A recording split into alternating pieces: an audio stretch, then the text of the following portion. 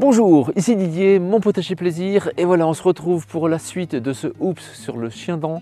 On se retrouve un an et quatre mois plus tard. Euh, ben voilà, j'ai laissé passer une saison, et puis tant que j'y étais, j'ai laissé passer aussi l'hiver. Ça changera pas grand chose pour le résultat, mais bon voilà, ça permet de voir tout de suite en début de printemps euh, ben, les premières herbes qui commencent à sortir. Je vous montre la différence entre le paillage paille et le paillage plastique. C'est parti tout de suite pour tous les détails sur ce deuxième épisode de Oups le chien dent.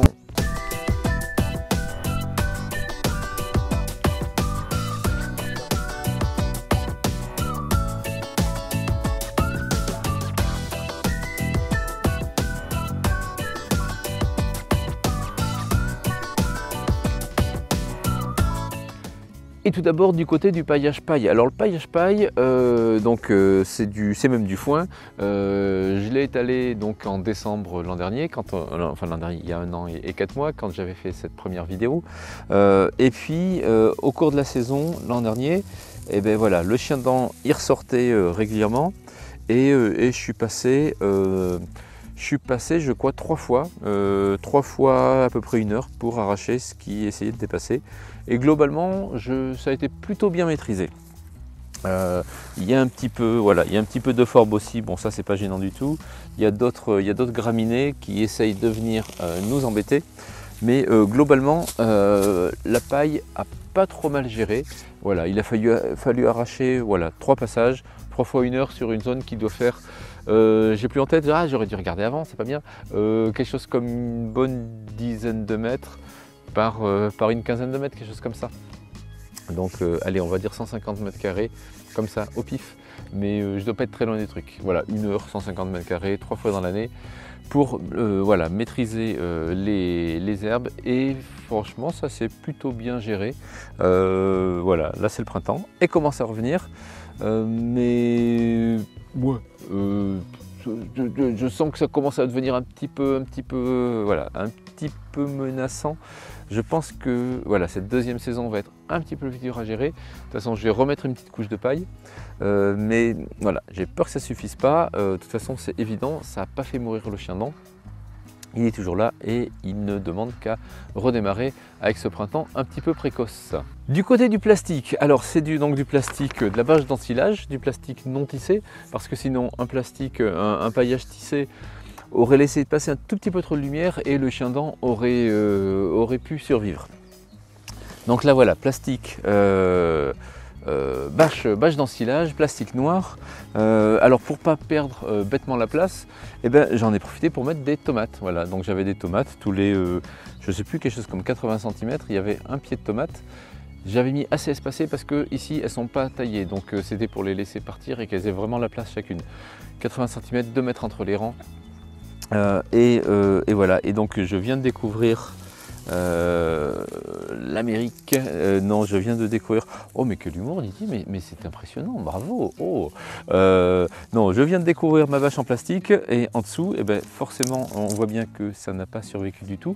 même dans les trous de plantation des tomates, le chien dent, on va dire sur sur quelques dizaines, je sais pas, il y avait quelque chose comme 200-300 pieds de tomates là, quelque chose comme ça. Euh, j'ai dû avoir même pas une dizaine de, de touches de qui ont essayé de ressortir et que j'ai pu facilement arracher pendant l'été.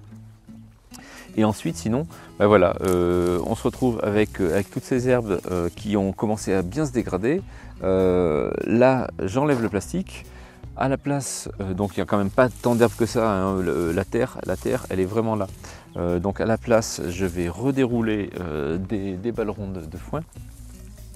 Euh, et, puis on va voir, on, refera le point ah, là, dans pas longtemps, dans 2-3 mois déjà, mai-juin, on va savoir si ça a été efficace ou pas. Est-ce que, est que, tout le chien dent a été détruit ou est-ce que pendant un an et quatre mois il a serré les fesses et il se dit c'est bon je vais pouvoir attaquer?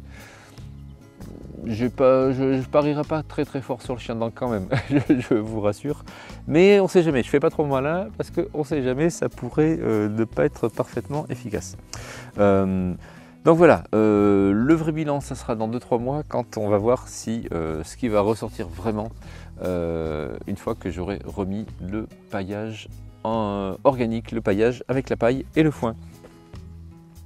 Mais donc voilà, ce qu'il faut retenir c'est ça, c'est paillage euh, plastique, déjà c'est beaucoup moins de boulot que, le paillage paille parce qu'effectivement là les chaînons il n'y a pas eu du tout à s'embêter à les gérer.